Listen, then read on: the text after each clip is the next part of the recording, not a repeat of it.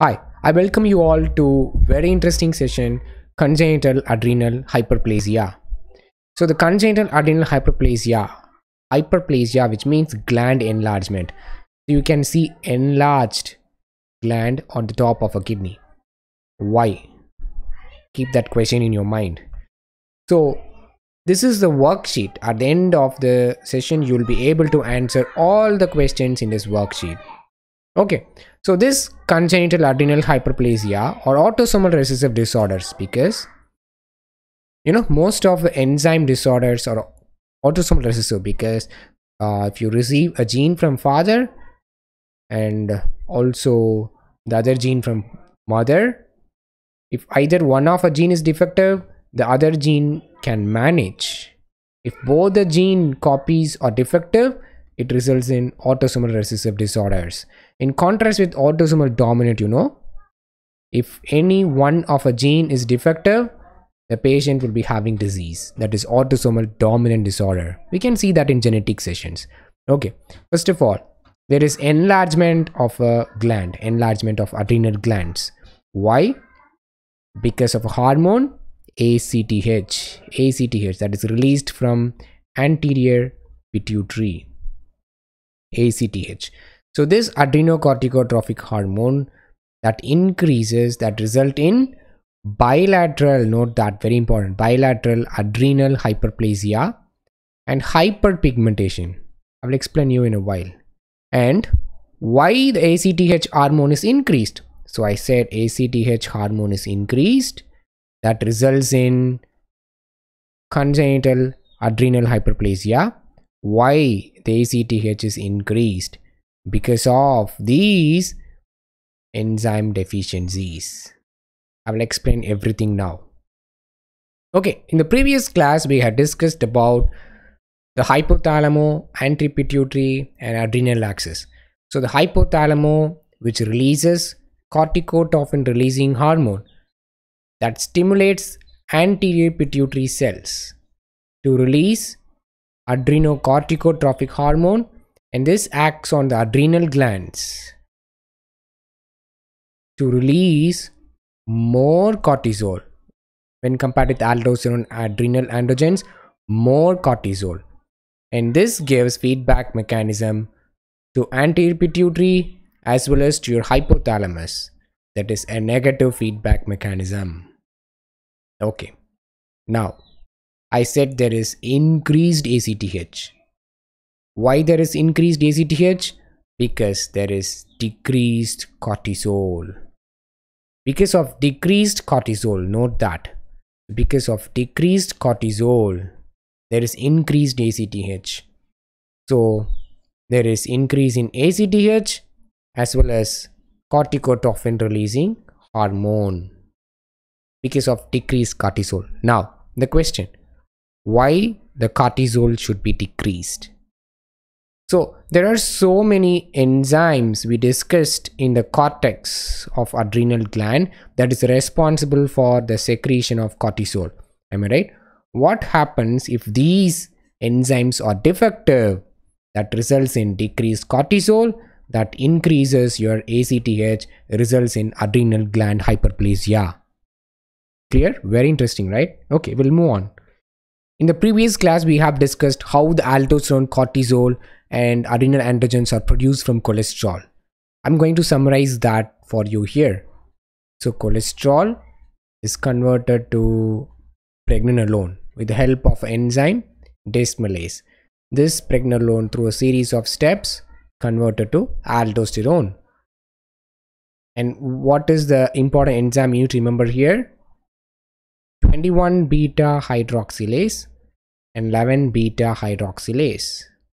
Okay, this pregnenolone is converted to a series of steps to cortisol with the help of enzyme 17 alpha hydroxylase. Good. And also 21 beta hydroxylase, 11 beta hydroxylase. And now again with the help of enzyme through a series of steps you get DHEA and androstenedione. These are the adrenal androgens. What is the enzyme here? 1720 lyase. okay highlight everything and now what is the intermediate here i'm going to write that intermediate because that is important for diagnosis 11 deoxy corticosterone and this is the superficial layer glomerulosa. This is from fasciculata. This is from reticularis. I hope you are very clear with this chart because once you understand this chart very clearly then it is very easy to do. Okay first we'll understand what happens if there is 21 beta hydroxylase deficiency. 21 beta hydroxylase deficiency. So what is happening here? There is decreased aldosterone because of a lack of this enzyme. And also decreased cortisol. Okay now you have to understand this decreased cortisol stimulates ACTH secretion from anterior pituitary. So there is increased ACTH secretion. So this ACTH acts on this enzyme and stimulates it. The ACTH stimulates your desmolase enzyme so that more and more cholesterol is converted to pregnenolone. Since 21 beta hydroxylase enzyme is deficient, this pregnenolone is converted to more adrenal androgens.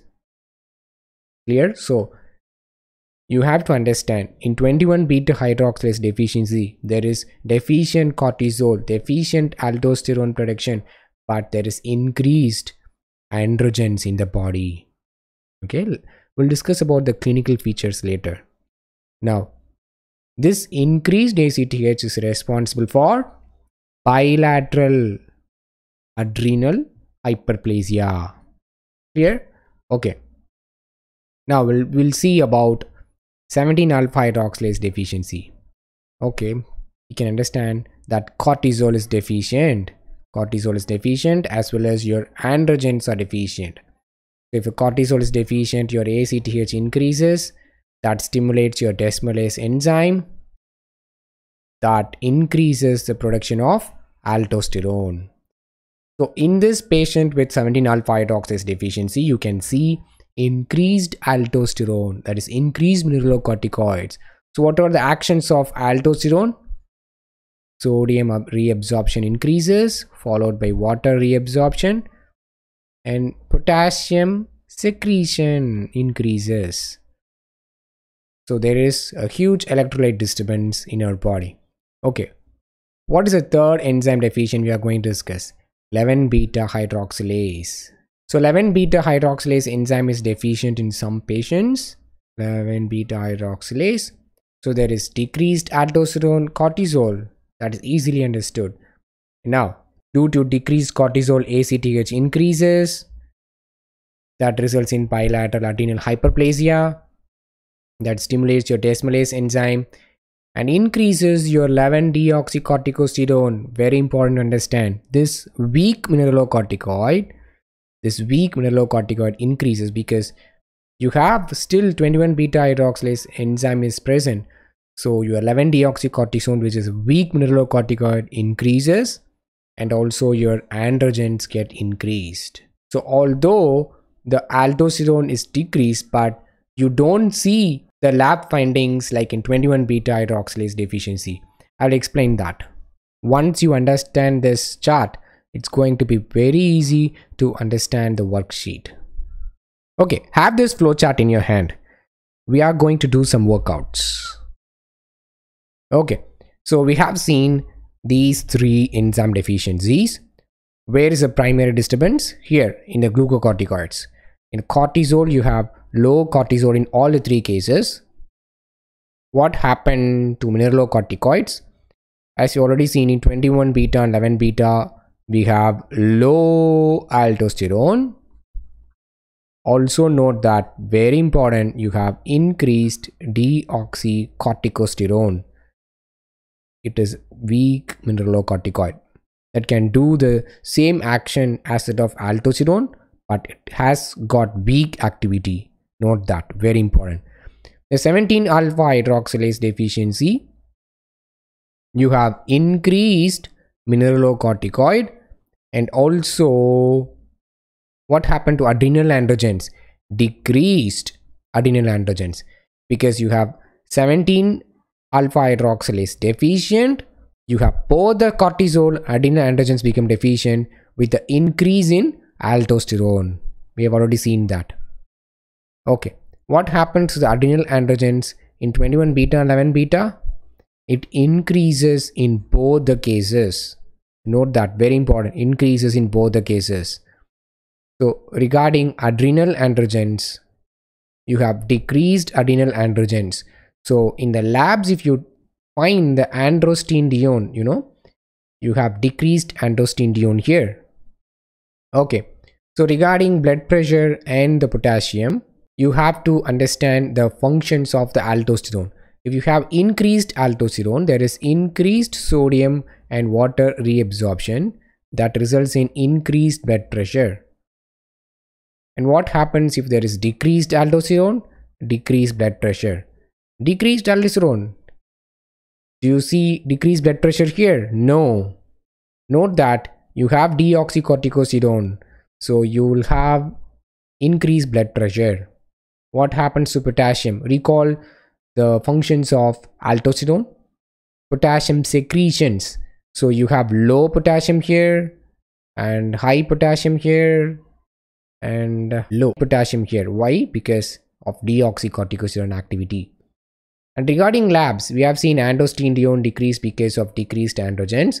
In 21 beta and 11 beta, the very important differentiating point is a renin. Renin. Why? Because you have decreased aldosterone here. You have increased renin due to feedback activity. Decreased aldosterone but increased deoxycorticosterone. So there is low renin activity here. Note that renin activity uh, is a very good differentiating lab findings in 21 beta and 11 beta hydroxylase deficiency. Okay, in clinical presentation, take male and female. Because of decreased androgens decreased androgens the male you can see ambiguous genitalia. Recall that what is the function of androgen? Very important. Development of external genitals development of external genitals. So what happens if there is decreased androgens? The male babies will be very difficult to differentiate from the female babies. So you have to do some chromosomal studies to find whether it's a male or female baby. Okay? And you can also see undescended testes. The same reason decreased androgen. And because of decreased androgen in the females you can see the lack of secondary sexual characters for example development of hair in the pubic uh, axillary etc okay now coming on to a 21 beta hydroxylase 11 beta hydroxylase deficiency now, there is increased androgens. Note that there is increased androgens. Am I right? So, you can see precocious puberty because of increased androgens. And in the female, you can see virilization. Virilization means development of hair in the pubic or axillary areas. And here also you can see the virilization. Because of decreased aldosterone, you can have low sodium in the blood that is called salt wasting you can see salt wasting in the infants okay i hope you're very clear in this chart so if you get any confusion first see the glucocorticoids glucocorticoids always decreased in all the cases. And regarding adrenal androgens you get increased adrenal androgens in 21 beta and 11 beta hydroxylase deficiency. And note that in 21 beta and 11 beta hydroxylase, in 11 beta you have weak mineralocorticoid activity, so you don't see the decreased activity of aldosterone here in 11 beta. Okay, now a question to you. I said if there is increased ACTH, you can see hyperpigmentation. Hyperpigmentation. Why? Okay, leave that in comment section. I will get back to you. A little recall. So 21 beta hydroxylase deficiency or 17 alpha or 11 beta hydroxylase deficiency, this results in low cortisol. That results in increased ACTH because of a feedback mechanism. This ACTH can increase the size of a gland. This we call congenital adrenal hyperplasia. okay in the next videos we can uh, see some ecg lectures and if you want to follow Med Madness here is a link thank you see you with more interesting videos